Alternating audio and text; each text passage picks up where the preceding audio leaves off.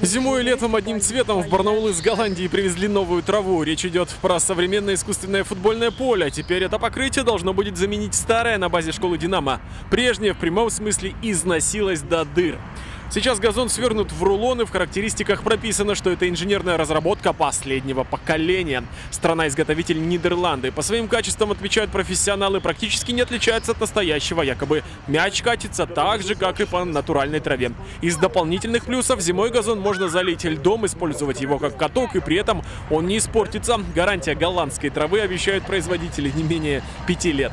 Нужна крошка, чтобы подвезли крошку. Тендер как можно побыстрее прошел. И чтобы нам хотя бы вот в августе, бы, пока сухая погода, потому что 10 дней надо, чтобы была хорошая погода, уложить поле. Поэтому будем торопиться. Я думаю, что и дети будут уже оттачивать свое мастерство более тщательно, более качественно пройдет наш тренировочный процесс.